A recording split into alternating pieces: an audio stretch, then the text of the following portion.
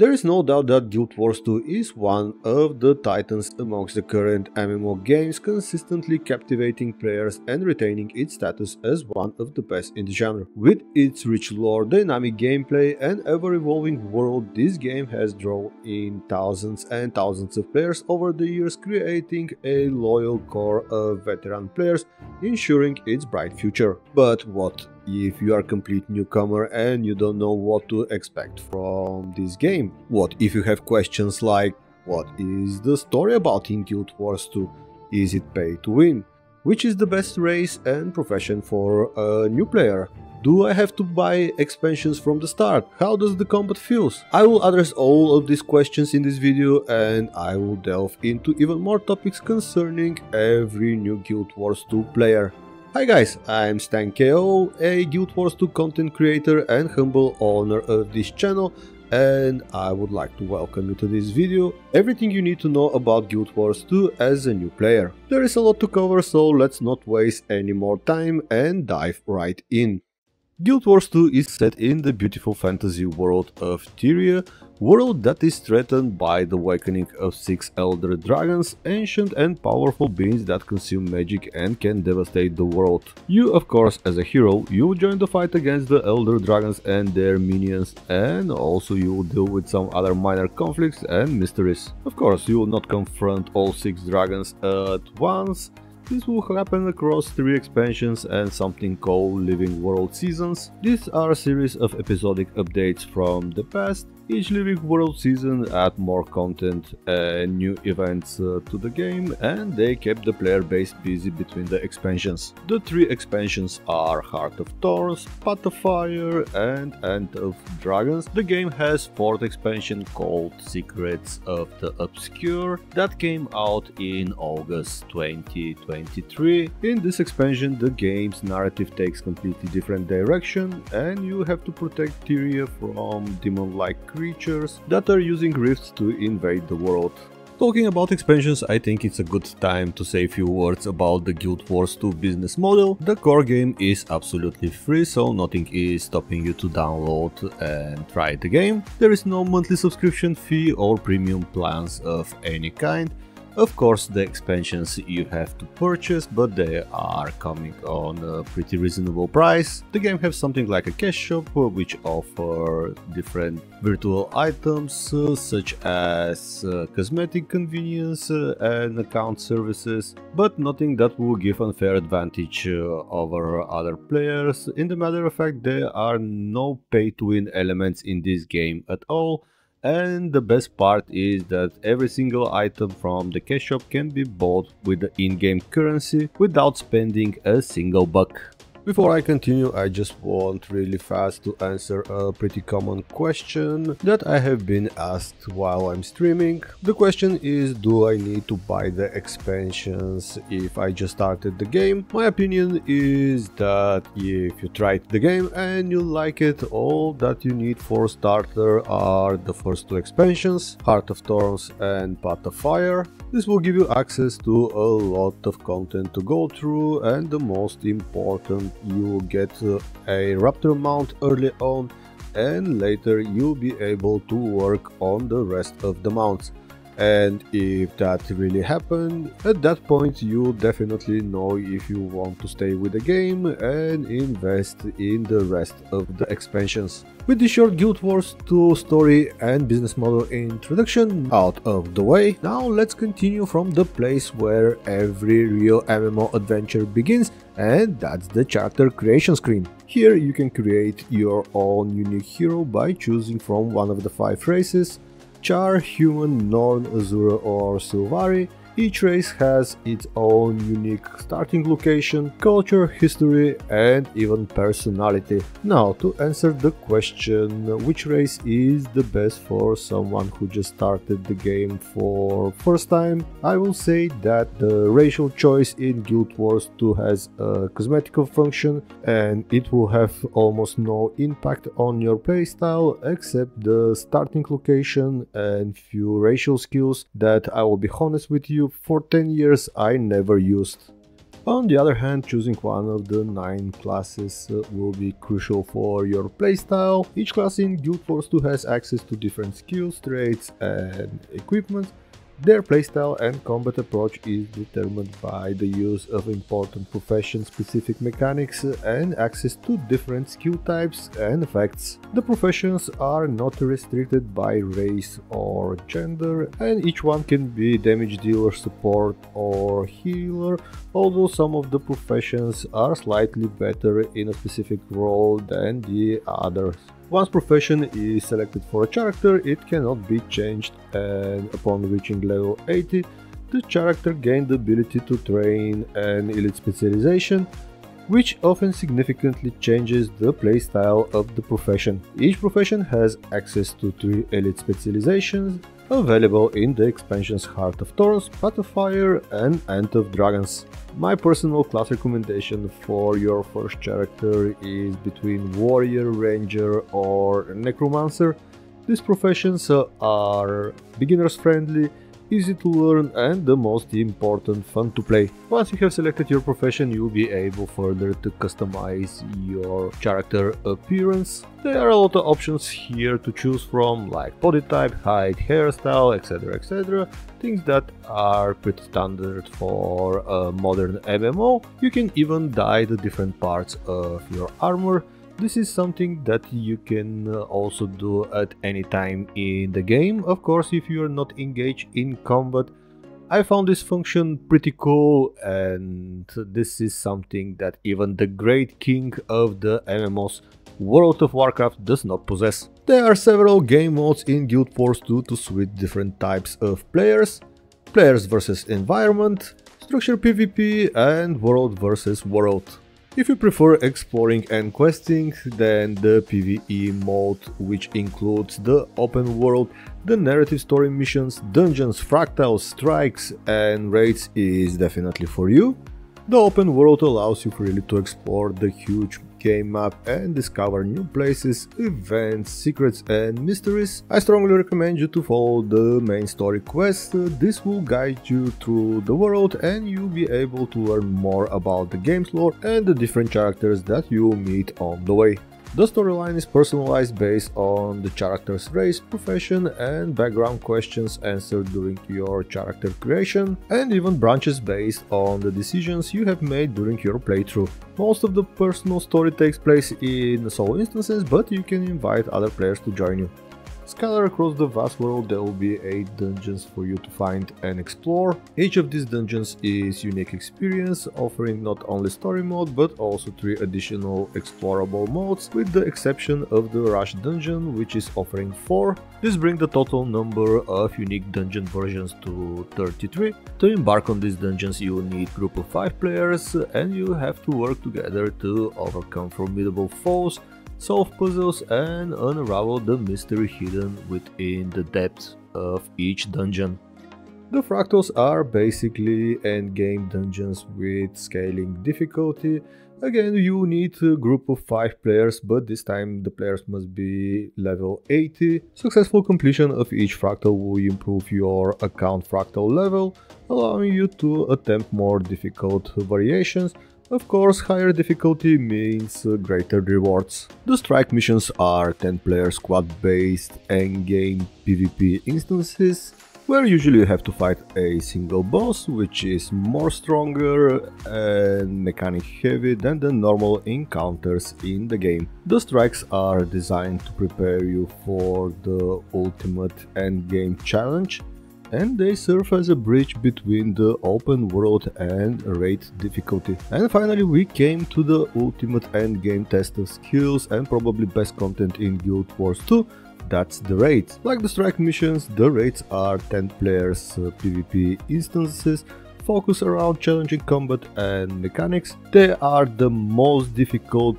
content in the game and each raid encounter usually has uh, multiple phases with several unique mechanics which will test your squad coordination and in case you get super good in raiding, some of the bosses are offering challenge mode where you can test your skills even further. If you like fast-paced combat and competing with other players, you should definitely try the structure PvP, where two teams of players are engaged in intense arena-style battle. Depending on the style of the arena, the teams can consist of 2 to 5 players. Points are awarded to your team for defeating enemy players, capturing and securing strategic uh, arena points, uh, and accomplishing objectives unique to the map.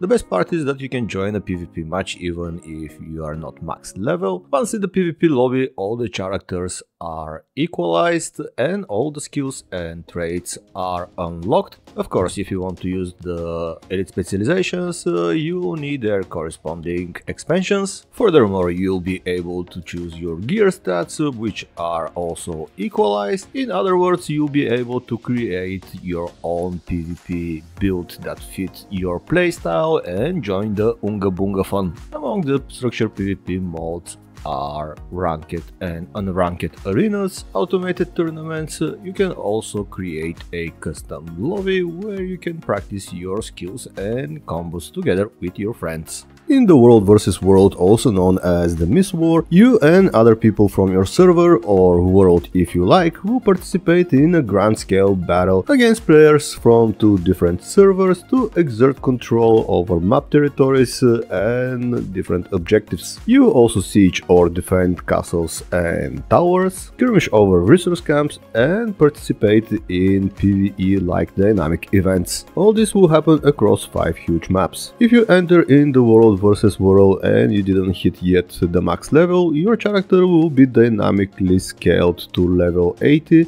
but you will keep all the equipment uh, that uh, you acquired so far.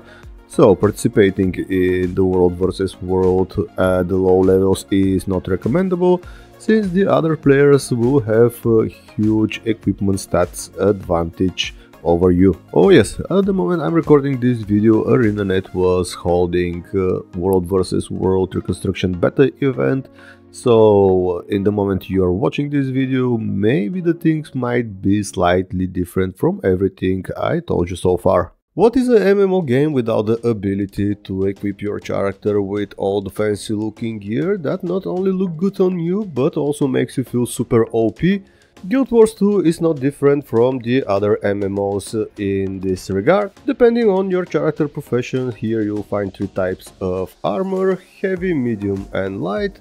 There are also two sets of weapons that can be swapped on cooldown in combat and whole bunch of trinkets. Each piece of gear add bonuses to your character primary and secondary attributes. Upgrade components that grant extra stats or bonus effects can be also slotted to your equipment. The stats numbers and the magnitude of these bonuses depend on the level rarity and the type of the equipment. The rarity of the gear scales like this, basic, fine, masterwork and rare these are the early game tiers. Then in the end game we'll find exotic, ascended and of course legendary tier.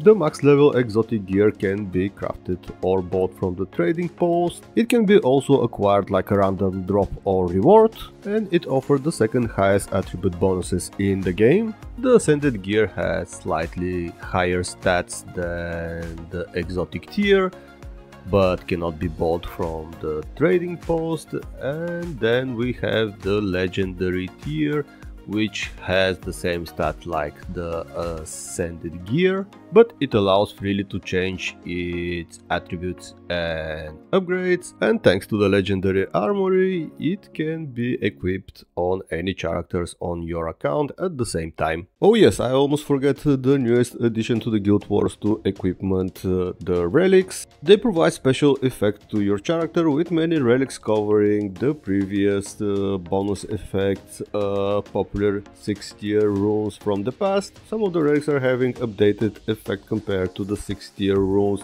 they used to be associated with. Some of the effects are also brand new and they add more depth and diversibility to the character builds in Guild Wars 2. And talking about gear, I should say a few words also about the game's crafting system. In Guild Wars 2 you find 9 crafting disciplines, each discipline can craft different types of items. For example, Armorsmith can craft heavy armor, artificers can craft staves and potions, chefs can craft food and drinks and so on and so on. You can buy new crafting recipes from vendors or acquire them as random drop or as reward from different achievements, but you can also experiment and try to discover new recipes by combining different materials and ingredients in the crafting station. The game's crafting system is super useful and rewarding eh, and it can help you create your own gear and weapons or sell them for profit. You can literally max level a new character using only crafting, of course if you have enough crafting materials for that. Once you hit max level, the game has endgame progression system in the form of different masteries that will keep you grinding. The masteries are basically regional based collection of abilities that will improve your overall in-game experience. Once unlocked, those abilities will provide you with account-wide benefits such as gliding, fishing or riding and improving the capabilities of different mounts. Speaking about mounts, Guild Wars 2 has the best mount system compared to any MMO. In this game you'll find only 9 mounts, but each one of them has specific usage and special abilities. You will use your mounts to explore new areas, access hidden secrets and overcome obstacles. Uh, you can also use them to fight enemies as they have their own combat skills and can deal damage and apply effect. The game mount system is super fun and innovative and I would love to see more devs doing something similar in their games. Even though mix between tab targeting and action combat system is nothing new in the modern MMO world, this was not the case back in 2012 when Guild Wars 2 was released. This game is one of the first MMOs implementing such system and we can easily say that the devs from ArenaNet are one of the pioneers in that area and they definitely nailed it. With Guild Wars 2 you forget about the boring exchange of blows and rooted on one place combat. Every encounter here is a whirlwind of dynamic movement and swift strikes you find yourself seamlessly executing attacks on the move, while the key to survival in combat lies in your ability to block, dodge and maneuver around your enemies with lightning fast reflexes. You not only have to master your own abilities but also learn to anticipate and counter the tactics of your opponents.